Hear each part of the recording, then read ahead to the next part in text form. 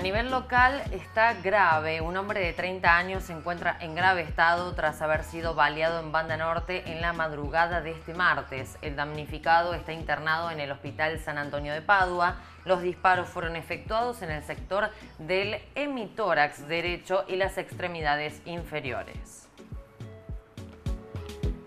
A nivel provincia, UPC aceptó los 3 mil pesos en dos pagos.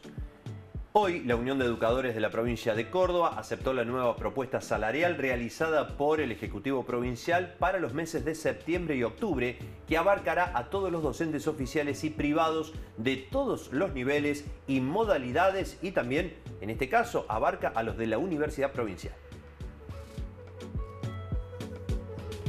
A nivel nacional, capitales alternas. El candidato a presidente del Frente de Todos, Alberto Fernández, presentó en Mendoza su proyecto de descentralización a través de capitales alternativas. Esto significa que trasladará el gobierno nacional una vez por mes a distintas provincias, en este caso la elegida en Córdoba sería Río Cuarto.